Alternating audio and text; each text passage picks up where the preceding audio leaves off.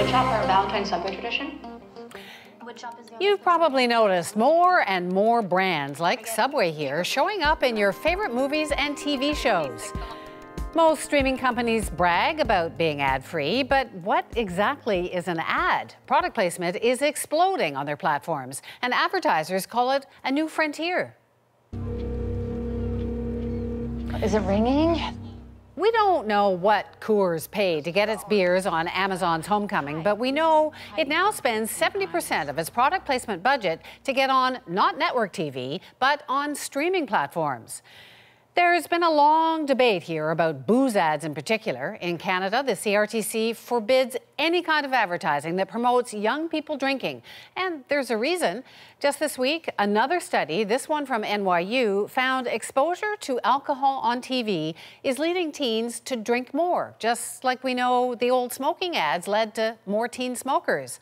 But those rules don't apply to platforms like Netflix or Amazon Prime, even though millions of Canadians are watching. And now, everywhere you turn, it seems the characters on these shows are all drinking and smoking. You're damned if you do, you're damned if you don't. I went down to the club and I, I mean, I can. An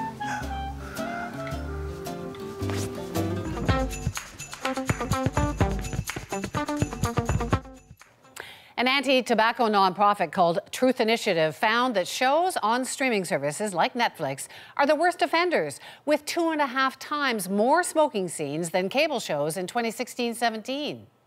For example, it found Stranger Things, which has a large young audience on Netflix, showed more than 260 cigarettes in its second season alone.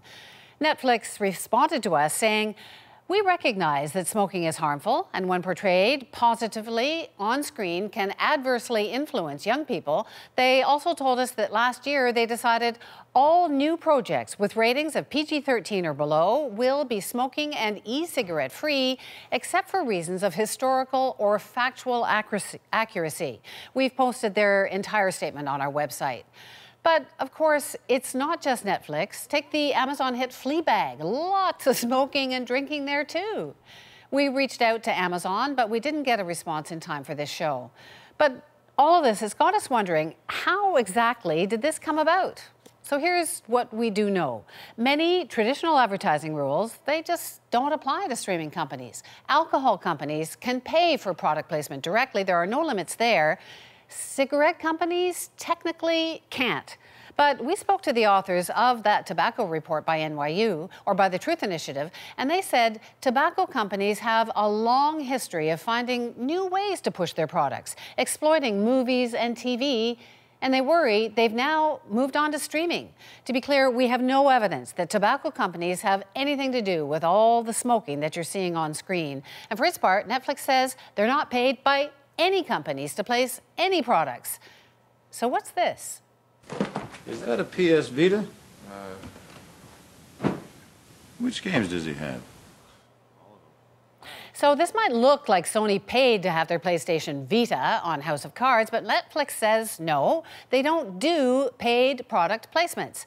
Joining me from New York is Ashley Rodriguez. She's a journalist who's been writing about these streaming companies for Business Insider. So, Ashley, Netflix says it's not paid to place any products, but we see brand names everywhere. What's going on here? Yes, great question, Wendy. Um, there are a few ways that these relationships typically work. A lot of the product placement that you'll see in a show on Netflix is actually usually handled by the production itself. Um, and keep in mind, there are lots of ways to think about a Netflix original. Some of them are actually produced by Netflix itself, and some of them are just acquired by the company or a co production. So that's why a lot of these arrangements tend to happen um, at the actual production level. In Canada, there's so long been so many restrictions on alcohol advertising, on tobacco advertising, and now we're seeing it seems like every show you turn on on all of these streaming platforms, everybody's smoking, everybody's drinking. So we're trying to figure out like do the like say the tobacco companies, do they have do they have any influence? Are, is there any money switching hands that makes it seem like everybody is smoking and makes it cool to kids? We haven't been able to figure it out. I mean, is that because of all of these sort of partnerships and middlemen and it's just too complicated?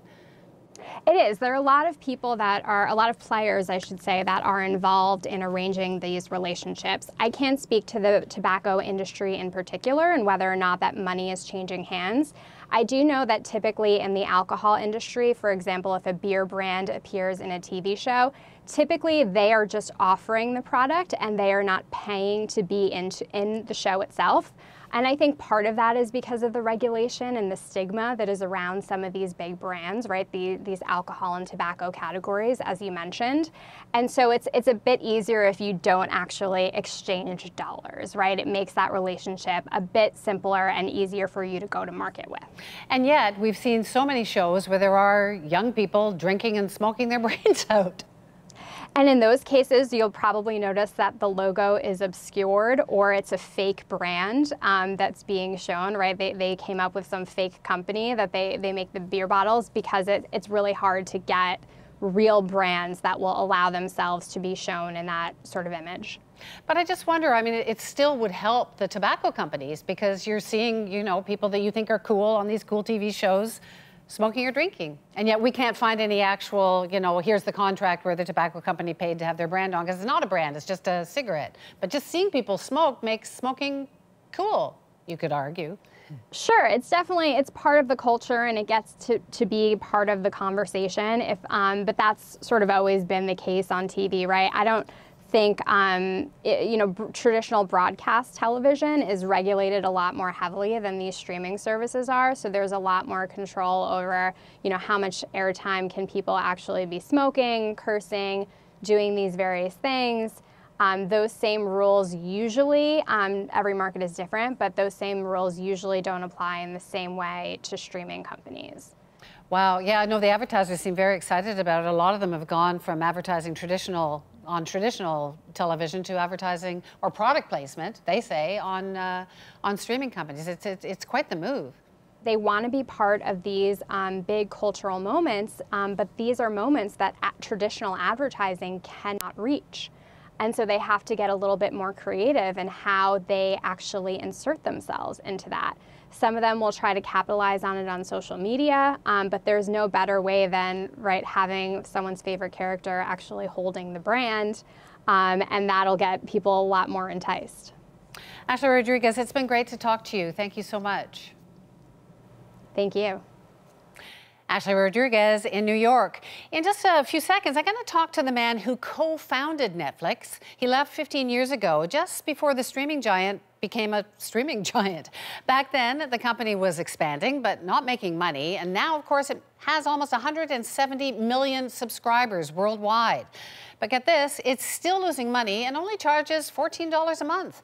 Joining us now from Silicon Valley is Marc Randolph. He has just published his best selling memoir, That Will Never Work.